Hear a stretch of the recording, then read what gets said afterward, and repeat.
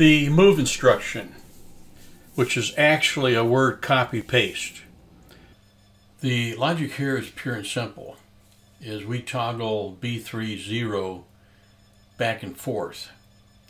We are either executing the move or mask move.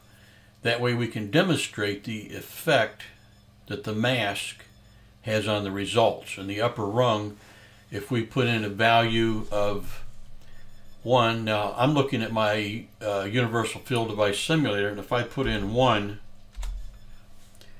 of course nothing's going to happen because I need to toggle B300 on. Now, in the lab I pointed out that this is deceiving because it looks like, if I were to go back now, that this is true and it moved a 1 from N70 to output 0, but that's not true. This mask move is being executed, but because the mask is all zeros, in other words, it's 16 zeros, so it doesn't matter what this value is, I'll put in 32,767, and look, this rung is true, but that value did not get moved to this integer did not get moved to that integer. Now if I toggle this bit,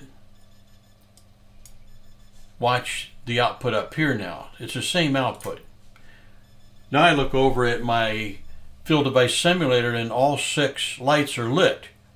Matter of fact, it, we only have the first six bits. If I go to output zero here, and look, see, they're all on except for the 15, of the 16th bit, which is bit 15, and that's the sign. If you make that a 1, then you got a negative number. Okay, if I go back here, again, it looks like this rung is true, and it looks like this move took place. It didn't.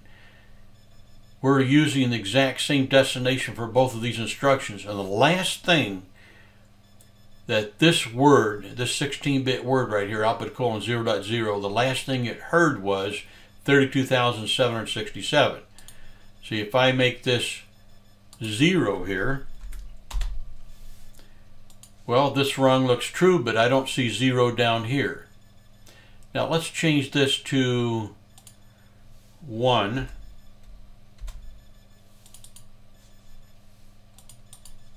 That's a constant, so I have to go into the edit mode in order to put that in there. You can't edit a constant in the run mode.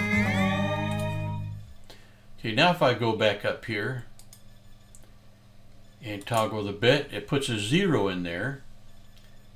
And if I make this um, 2, toggle the bit, it puts a it put the two in up here so let me go back toggle this back. Well I guess we're going to do it this way.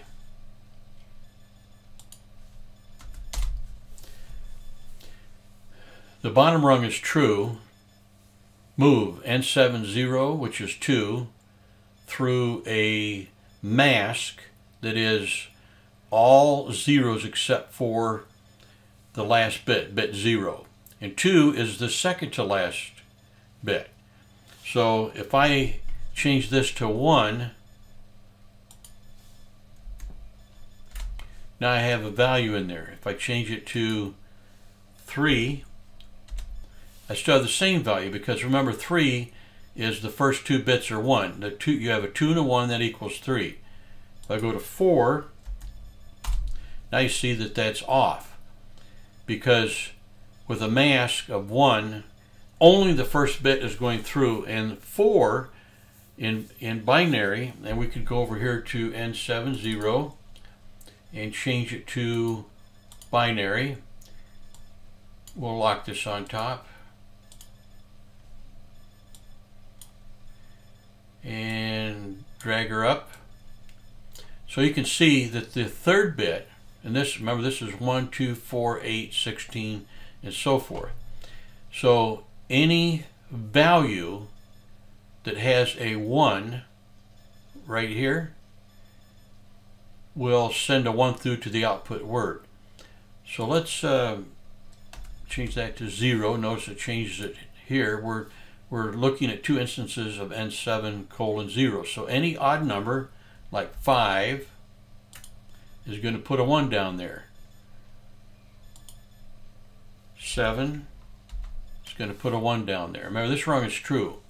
So all odd values, 11, let's put in an even, 12. See, now that's 0. Let's put in 32,767. It's going to put a 1 in there. Let's make that a 6 instead of a 7, and now we've got a 0 in there. So you could say that if you are doing a mask move through a mask of 1, meaning 15 zeros and a 1, the first most significant, we'll say least significant bit, in other words, to the far right, that is 1, and the other 15 are 0. Remember, they're showing this to you in hex form. So each one of those zeros represents four zeros.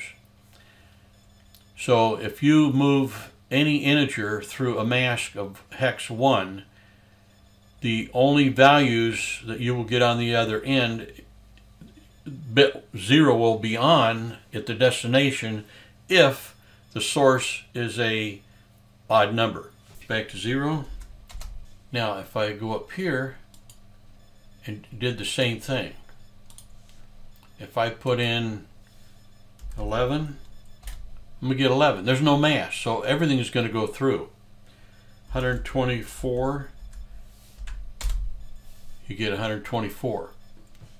Because the move instructions, mask move and move, do not have a false execution, what we might add to this code is a rung that's scan dependent, would have an unconditional clear to clear that output word.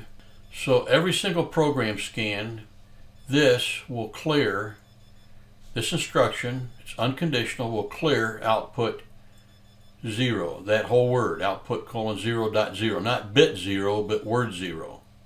And then one of these two rungs will determine, because last man wins, and this rung right here says that it's going to be 124, this rung is false. So rung 2 here is false. So it's totally out of the mix. This isn't like an OTE that has a true and a false execution. These only have true execution.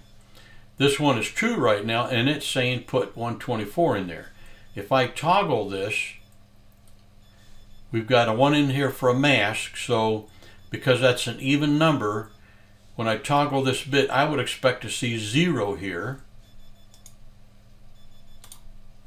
Because 124 is a even number. You can see right here that this bit is not on and the only way you're going to have an output on through this instruction is if this bit is 1.